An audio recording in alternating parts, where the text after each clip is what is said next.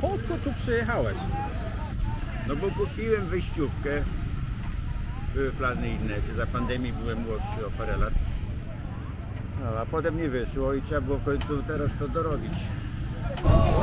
Tacy zadowoleni kurwa jesteście zawsze. Przed startem, po starcie. A z czego mamy się smucić? 32, 29, 27, 27. Dziękuję. Piękna jazda z twojej strony.